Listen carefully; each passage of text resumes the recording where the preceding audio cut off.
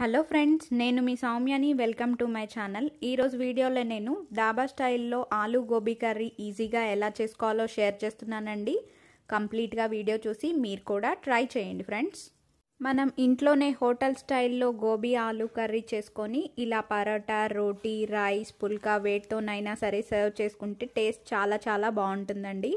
ముందుగా stove on చేసుకొని ఒక కడాయి పెట్టుకొని నాలుగైదు స్పూన్ల ఆయిల్ వేసి అందులో మనం బాగా కడిగి కట్ చేసి పెట్టుకున్న గోబీ ముక్కల్ని ఇలా కొద్దిసేపు ఫ్రై చేసుకోండి.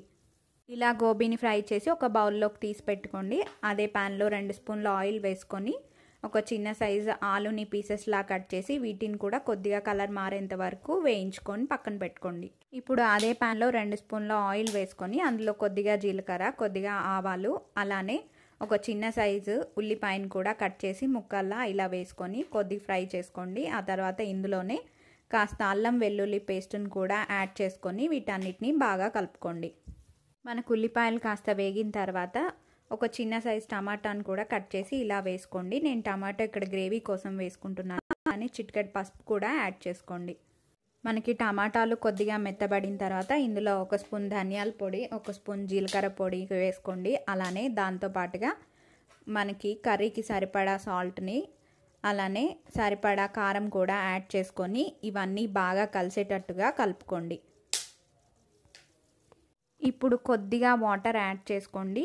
అలా చేయడం వల్ల మనకి కర్రీ అనేది డ్రైగా లేకుండా ఉంటుంది. అలానే ఒక స్పూన్ గరం మసాలా కూడా యాడ్ చేసి అన్నీ కలుపుకొని మూత పెట్టి ఉంచండి. మనం ఒక రెండు మూడు నిమిషాలు మూత పెట్టి మగ్గించుకొని తీసిన తర్వాత దీనిలో కొద్దిగా కసూరి మేతిని యాడ్ చేస్తున్నాను. మీ దగ్గర ఉంటే వేసుకోండి. లేకపోయినా సరే పర్వాలేదండి స్కిప్ చేయొచ్చు. ఇప్పుడు ఇందులో మనం ముందుగా ఫ్రై చేసి పెట్టుకున్న ఆలు గోబీ ముక్కల్ని కూడా యాడ్ చేసుకొని ఇలా బాగా కలుపుకోండి. ఆ తర్వాత మూత పెట్టి మధ్య మధ్యలో మనం చెక్ చేసుకుంటూ ఈ ముక్కలన్నీ ఉడికేంత వరకు బాగా మగ్గించుకోవాలి. ముక్కలన్నీ మెత్తబడేంత వరకు ఉడికించుకొని ఫైనల్గా కొత్తిమీర చల్లుకొని స్టవ్ ఆఫ్ చేసుకొని ఒక సర్వింగ్ బౌల్లోకి తీసుకోండి.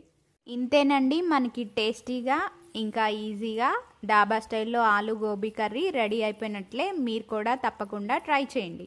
ఈ రెసిపీ మీరు కూడా ట్రై చేసి నాకు ఎలా వచ్చిందో కామెంట్స్లో షేర్ చేయండి. అలానే ఈ రెసిపీ నచ్చినట్లయితే లైక్ చేయండి షేర్ చేయండి.